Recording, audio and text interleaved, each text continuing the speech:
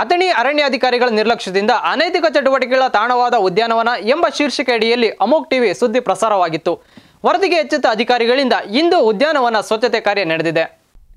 ಬೆಳಗಾವಿ ಜಿಲ್ಲೆಯ ಅಥಣಿ ಪಟ್ಟಣದ ಶಂಕರ್ ನಗರದಲ್ಲಿರುವ ಉದ್ಯಾನವನದಲ್ಲಿ ಪರಿಶುದ್ಧ ವಾತಾವರಣದಲ್ಲಿ ಸರ್ಕಾರ ಮಕ್ಕಳಿಗೆ ಹಾಗೂ ವಯೋವೃದ್ಧರಿಗೆ ನೆರಳಾಗಲಿ ಹಾಗೂ ಸಾರ್ವಜನಿಕರು ಬಂದು ವಿಶ್ರಾಂತಿ ಪಡೆಯಲಿ ಎಂದು ಸುಮಾರು ಹದಿನಾರು ಎಕರೆ ಆಗುವಷ್ಟು ಪ್ರದೇಶದಲ್ಲಿ ಉದ್ಯಾನವನವನ್ನ ನಿರ್ಮಾಣ ಮಾಡಿದೆ. ಆದರೆ ಅಲ್ಲಿ ಮಾತ್ರ ಕುಡುಕರ ತಾಣವಾಗಿ ಅನೈತಿಕ ಚಟುವಟಿಕೆಗಳ ಬೀಡಾಗಿದ್ದು, ಈ ಬಗ್ಗೆ ಅಮೋಕ್ ಟಿವಿ ಸುದ್ದಿ ಬಿತ್ತರಿಸಿದ ಹಿನ್ನೆಲೆ ಎಚ್ಚೆತ್ತುಕೊಂಡ ಅರಣ್ಯ ಇಲಾಖೆ ಅಧಿಕಾರಿಗಳು ಉದ್ಯಾನವನವನ್ನ ಸ್ವಚ್ಛಗೊಳಿಸುವಲ್ಲಿ ಮುಂದಾಗಿದ್ದಾರೆ. ವರದಿ ಬಿತ್ತರಿಸಿದ ಕೇವಲ ಇಪ್ಪತ್ನಾಲ್ಕು ಗಂಟೆಯೊಳಗೆ ಅಧಿಕಾರಿಗಳು ಎಚ್ಚೆತ್ತುಕೊಂಡು ಉದ್ಯಾನವನವನ್ನ ಸ್ವಚ್ಛತೆ ಮಾಡುವ ಕಾರ್ಯಕ್ಕೆ ಮುಂದಾಗಿದ್ದು, ಸಾರ್ವಜನಿಕರು ಅಮೋಕ್ ಟಿವಿ ಸುದ್ದಿ ವಾಹಿನಿಯ ಸಾಮಾಜಿಕ ಕಳಕಳಿಗೆ ಮೆಚ್ಚುಗೆಯನ್ನ ವ್ಯಕ್ತಪಡಿಸುತ್ತಿದ್ದಾರೆ.